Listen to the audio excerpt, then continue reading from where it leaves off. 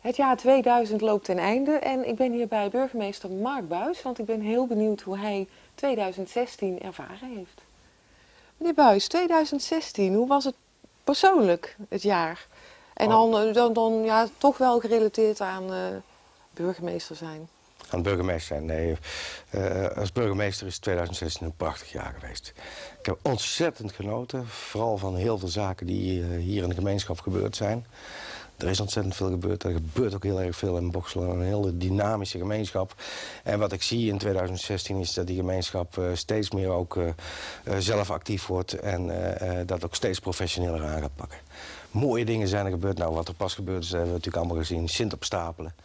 Als je ziet dat je daar zoiets neer kunt zetten met z'n allen. Drie weken lang Sinterklaas. Ja, dat is gewoon geweldig. En dat ondersteunt door alles en iedereen. Eh, nou ja, ik ben ze daar heel erg dankbaar voor. Maar vooral eh, als ik het resultaat zie. En ik zie dan eh, zo'n 6000 kinderen geweest. Allemaal met een grote lach op het gezicht en een Ja. snoepzakje vertrokken. Als je dat met elkaar voor elkaar krijgt, dan, dan zeg ik ja, dan doen we het gewoon goed. En dan is het voor mij ook gewoon genieten, want een burgemeester heeft maar één zorg. En dat is, loopt het? Eh, hebben mensen naar een zin? En hebben wij een leefbare gemeenschap? En ja, ik moet constateren, zowel in Boksel, maar ook op de dorpen, Liemde, de top 2000. Ja. Geweldig wat ze daar in een paar dagen neergezet hebben. Ja, dat, hetzelfde is een Lennisheuvel, dat, dat, dat, dat marcheert. Dus ik ben vooral heel erg eh, blij, omdat we, ik zie dat onze gemeenschap gewoon krachtig is en ook steeds meer kracht ontwikkelt. Ja, nieuw jaar hè, met dus nieuwe regelingen. Ehm, wat dat betreft denk ik goed gedaan, want de, de pot is niet leeg. Dus eh, er is goed gekeken van wat kan wel en wat kunnen we ons niet veroorloven.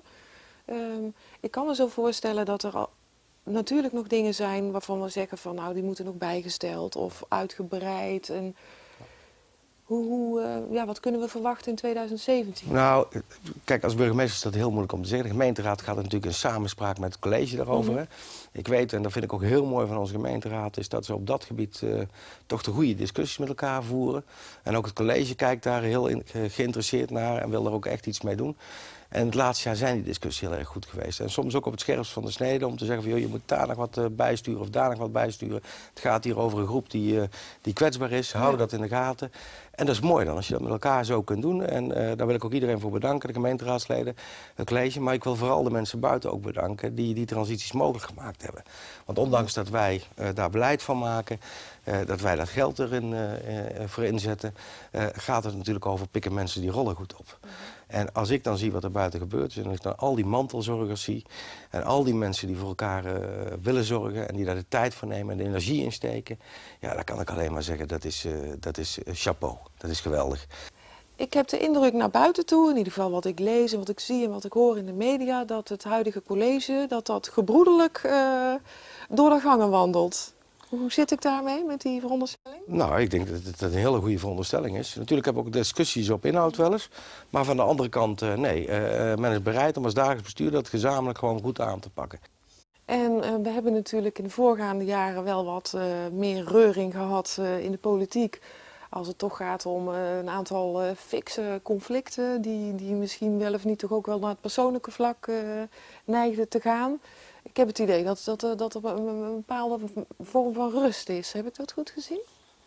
Ja, ja, dat is voor mij moeilijk om te oordelen. Ik, wil ook geen politieke kwalificatie over zaken aangeven. Iedereen heeft zo zijn eigen reden om, het, om wel of niet eh, eh, ehm, zich druk te maken over, over onderwerpen. Ik denk overigens dat het in Boksel niet eh, bijzonder aanwezig is, hoor, wat je nu eh, suggereert. Ik heb ook in andere gemeentes gezeten. Het komt overal voor en het hoort ook bij de politiek een beetje om, eh, om dat te doen. Persoonlijk is het natuurlijk nooit leuk en zal ik zelf ook eigenlijk altijd afkeuren. Maar ik denk dat we hier toch ook wel heel erg met de inhoud bezig zijn. En in die zin elkaar ook verder kunnen helpen als we die inhoud ook gewoon durven te bediscussiëren met elkaar. Nu is het zo dat er volgend jaar zijn er een aantal uitdagingen, veronderstel ik. Want we hebben natuurlijk het beleid rondom eh hoogfrequent spoor. Ja. Gaat toch om veel geld? Ja. Gaat het ons lukken? Ehm, ja, sowieso eh, eh, hebben we erop ingestoken. Het is ook een kans die langskomt. Hè? Dus ehm, er moest iets gebeuren, dat weten we allemaal. Er zijn ook keuzes gemaakt in het verleden om dat te gaan doen. Nou, die keuze is gemaakt, daar kun je over twisten. Dat, dat heeft volgens mij geen zin. Maar het is wel belangrijk dat we met z'n allen er nu voor gaan om de keuze die we gemaakt hebben ook tot een goed einde te brengen. Nou, er wordt binnen keihard gewerkt, ook door de wethouder, om uh, daar mee bezig te zijn en een goede uitwerking te geven. Maar dat neemt niet weg dat het een heel groot project is en dat nog heel veel, hè, je begint op een wat abstracter niveau, nog heel veel concreet moet worden. Dus dat betekent dat er nog heel veel uitgewerkt moet worden voordat we daadwerkelijk in die uitvoering kunnen komen. Nou, dat loopt en dat ziet er volgens mij gewoon goed uit. Maar het wordt, een, uh, het wordt ook wel een spannende. En uh, nou ja, als we ons dat ook realiseren, dan uh, en misschien met een beetje spanning dat we ook tot creatievere en nog betere oplossingen kunnen komen. De ambtelijke fusie, hoe is die bevallen, burgemeester? Ja, hartstikke goed. Het is leuk om, om een ambtelijke fusie te hebben. Het is, ik merk dat, het, dat we met heel veel bezig zijn. Ik heb al eerder verteld, we hebben de structuur in de organisatie veranderd. we zijn natuurlijk met meewerkend boksel in het kader van cultuurontwikkeling uh, bezig gegaan. Zowel binnen als buiten, want we moeten allemaal veranderen om, om de nieuwe samenwerking vast te pakken. En daarnaast hebben we natuurlijk het jaar daarvoor nog verbouwd, dus een andere werkomgeving gecreëerd. Nou, dat zijn drie dingen in één. en onze medewerkers moeten daar natuurlijk in mee. En ja, die wil ik ook graag gewoon een heel groot compliment geven. Om, dat is met ons, het is een keuze van, van ons. En ik denk ook dat het nodig is naar de toekomst toe. Hè, als wij graag meer met die burger willen gaan doen en dat ook goed willen kunnen faciliteren, dan zullen we ook moeten zorgen dat ons apparaat er anders uitziet en onze manier van werken anders wordt. Maar neemt niet weg dat die mensen van ons dat wel moeten doen. En van het ene in het andere model nou. We hebben allemaal, uh, mensen buiten ook allemaal een baan. Je kunt je voorstellen als er uh, de zaak op de kop komt te staan binnen het huis... dat dat niet altijd even makkelijk is. En dat is voor onze mensen ook niet. Die zijn ook soms wel eens zoekende naar die nieuwe rollen en die nieuwe mogelijkheden. En dat merk ik ook heel duidelijk. Uh, er staat soms ook wel wat spanning op.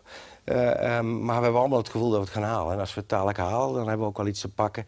Uh, waarmee we jaren vooruit kunnen. En waarmee we ook kunnen zeggen van... God, we hebben de indruk weer dat we onze mensen ook echt vooruit kunnen helpen. Want daar moet het gevoel toch vandaan komen. Je zou uiteindelijk s'avonds naar huis willen gaan... en willen zeggen, ik heb daar en daar de samenleving van Boksel... toch een stukje vooruit geholpen. Nou, dat is de inzet die we plegen. En uh, um, ja, dat, dat kost bloed, zweet en tranen... Maar uiteindelijk moet dat het resultaat zijn. We hebben echt het gevoel dat het gaat lukken. Dus we steeds een stukje komen we daar verder in. Dus al met al is er uh, in 2016 echt enorm veel uh, veranderd, uh, ja. vernieuwd. Ja. En een tevreden, tevreden burgemeester daarover. Ja, zeer tevreden. Ik vind ook, als die wereld om ons heen verandert... Hè, en dat is te vaak gebeurd denk ik, bij overheidsinstellingen... dat ze zelf stil zijn blijven staan. En dat maakt het ook moeilijk voor mensen om dat ook dan nog als hun overheid te herkennen. En door mee te veranderen en bij de mensen te zijn... en vooral te werken zoals de mensen dat graag zouden willen. Dat wil niet zeggen dat iedereen gelijk kan krijgen of iedereen zijn zin kan krijgen. Maar dat we er wel voor ze zijn op het moment dat we ze nodig hebben... en we met elkaar het gesprek aan kunnen gaan. Ik denk dat we dan veel gewonnen hebben. En onze systemen waren daar niet op uitgerust. Niet op de huidige tijd, zal ik maar zeggen. En ik ben heel erg blij dat wij hier in Boksel met elkaar het vertrouwen hebben... met de gemeenteraad, met het college, met de mensen buiten. Hè, want die doen net zo vlot mee als, uh, als wij. Uh, uh, dat we die verandering tot een goed einde kunnen brengen... en dat het ons heel veel op gaat leveren. Ik zie gemeenten die dat nog niet doen... en die hebben in de transities gewoon veel meer moeite om, om een stap verder te komen. Ja, want een, een, een heel groot doel uh, daarbij uh, is natuurlijk van buiten naar binnen. Ja.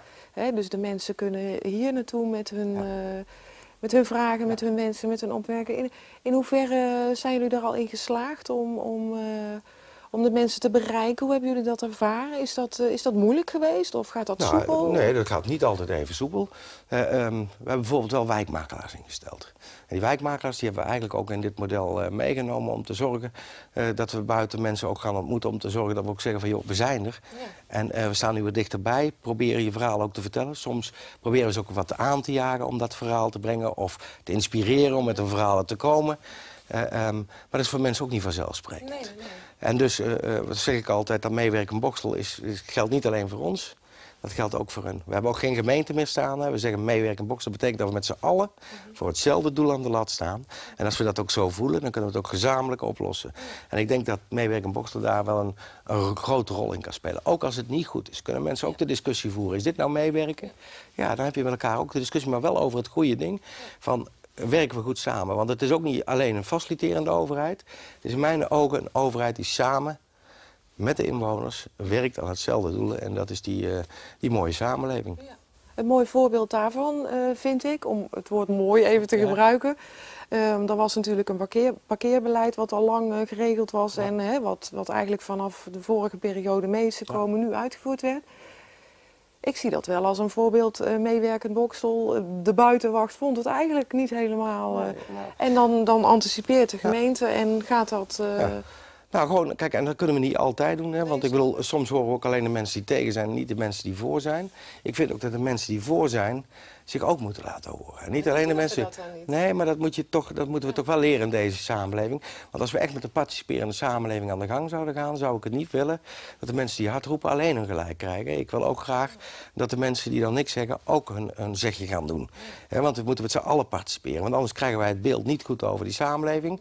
Daar waar we vermoeden dat het niet komt en we toch een taak uit te voeren hebben, blijven we hem gewoon uitvoeren. om te zorgen dat niemand alleen komt te staan. Of, we blijven ook die wakende overheid. Maar het is wel goed als iedereen uh, mee gaat doen. En ik vind het gewoon uh, goed dat wij uh, ook geleerd hebben om niet stelling te nemen, maar naar elkaar te luisteren. Ook in, op dit dossier.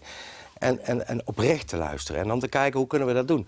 En ik vind het dan ook knap dat een wethouder gewoon ook zegt van joh misschien is dit wel niet het juiste plan. Of misschien moeten we het wel bijstellen. Laat mij nou eens eventjes op zoek gaan naar de mogelijkheden die ik nog heb om het wel bij te stellen. Nou, ik denk dat, dat iedereen het prettig vindt dat we op die manier met elkaar kunnen werken. Dus het is niet altijd een gevecht. Het is gewoon echt een gesprek en een discussie die moet leiden tot een betere samenleving. Ja. 2016 stond ook in het teken ja, het vluchtelingenbeleid. U was daar erg ja, overal te vinden, lokale media, regionaal, maar vooral ook nationaal. Hoe heeft u dat ervaren? Ja, als, als, aan de ene kant als zeer positief... en aan de andere kant als negatief dat we het hebben moeten doen. Positief in de zin van dat, wij, dat onze raad gezegd heeft op een gegeven moment... burgemeester, wij geven u de verantwoordelijkheid daarvoor... maar ook de vrijheid daarvoor. Mm.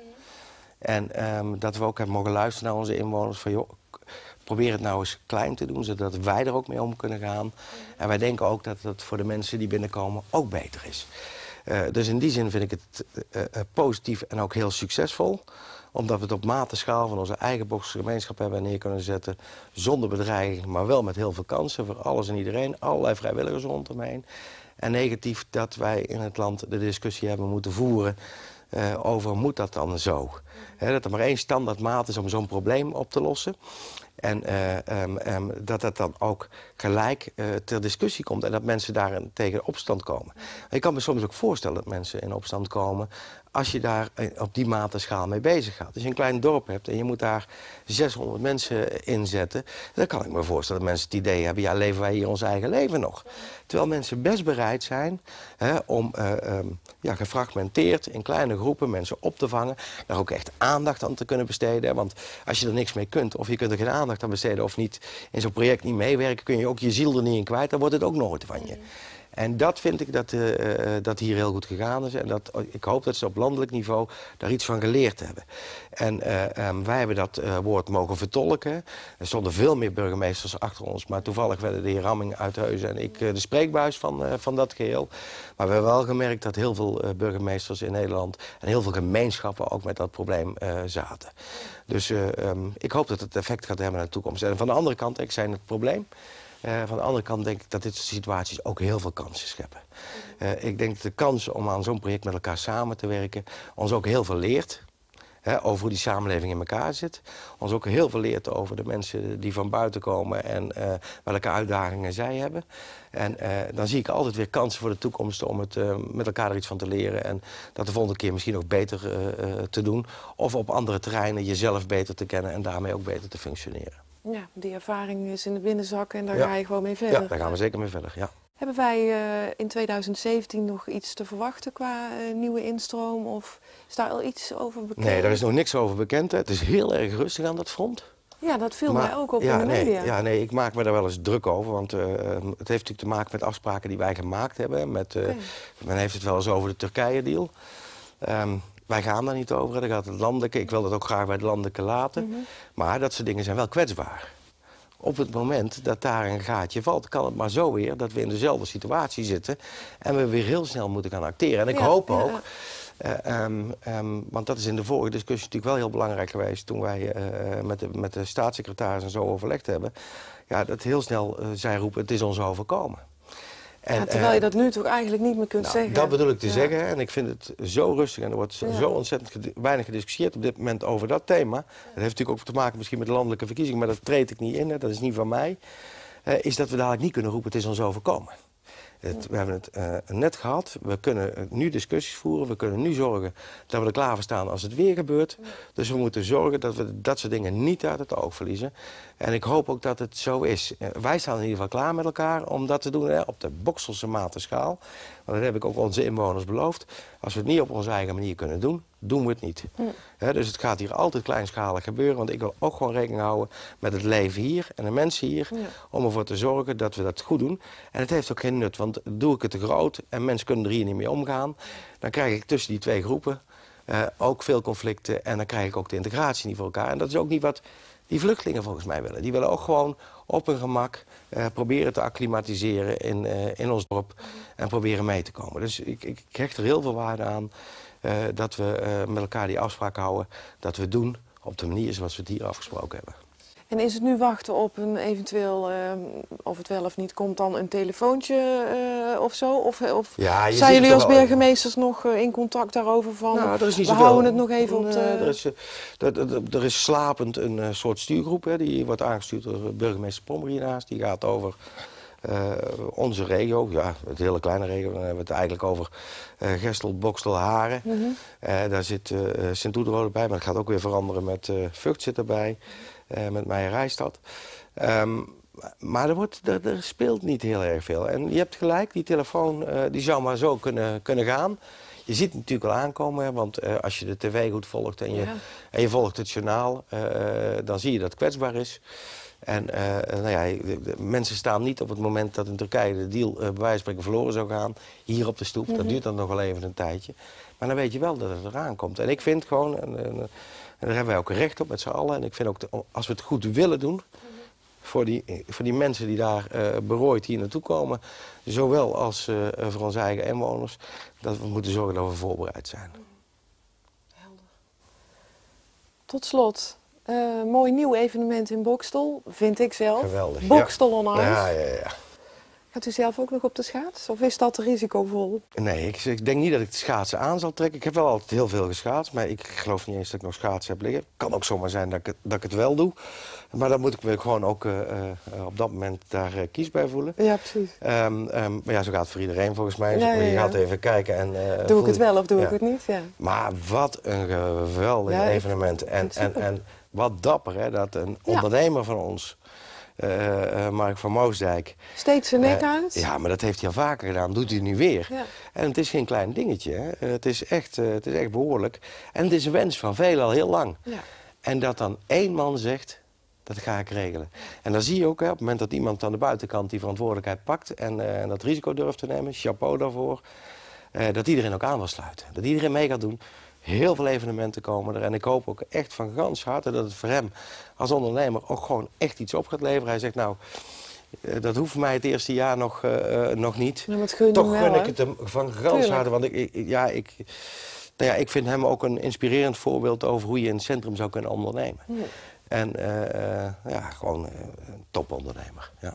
ja. En die hebben we meer hoor, maar dit is echt een voorbeeld waar uit, iemand hè? gewoon Ja. uitspringt. Ja. Okay.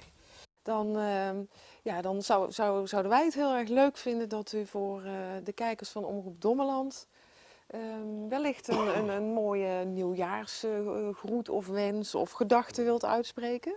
Nou, dat wil ik uh, heel graag doen. Dat doe ik eh, ieder jaar weer. Ja, daarom.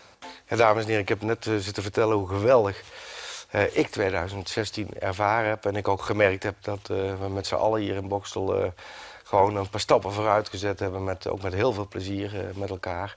Maar er zijn ook andere verhalen op de wereld. En dat is het verhaal van de mensen die misschien dit jaar ook iemand verloren hebben. Of die de laatste jaar iemand verloren hebben. Die toch ook met kerst zitten en, een, en die mooie kerst tegemoet willen gaan. Hè, wat toch gewoon een geweldig feest is. Maar die toch even iets anders erin zit. En wat ik al vaker gezegd heb met de kerstboodschap. Er zijn heel veel mensen die eenzaam zijn of mensen die verdriet hebben. En uh, um, heb daar oog voor. Probeer elkaar te helpen. Kerst is nou net zo'n feest waarin we kunnen laten zien dat we iets met elkaar op hebben.